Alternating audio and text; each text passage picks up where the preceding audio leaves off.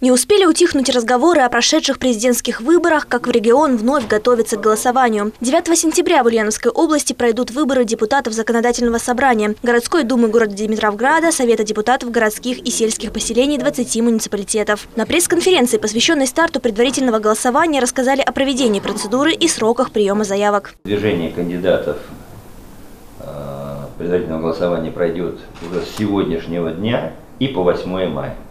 По 8 мая. Список участников этого голосования будет сформирован до 13 мая. Он уже начинает формироваться сегодняшнего дня.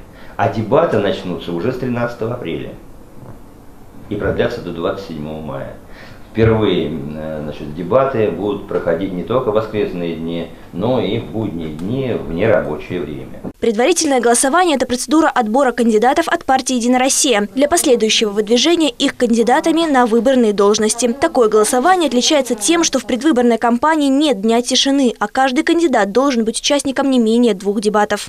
Те требования по участию в дебатах, которые озвучил Анатолий Александрович, они касаются депутатов ну, потенциальных участников и кандидатов в законодательное собрание. Таких требований нет для муниципальных образований. Ну, э, в силу сложности организационных, да, вам названо количество распределяемых мандатов, оно очень велико, и организовать площадки для проведения дебатов с их трансляцией в сети интернет, с прямой трансляцией, ну, достаточно проблематично. Темы дебатов будут утверждены на ближайшем заседании, а вот первая заявка на участие в предварительном голосовании уже подана. Чтобы стать участником праймерис, необходимо написать заявление и предоставить перечень документов в оргкомитет. А для участия в предварительном голосовании местного уровня документы можно подать в исполнительные комитеты. Елена Андреева, Даниил Сурков, Новости Ульяновской правды.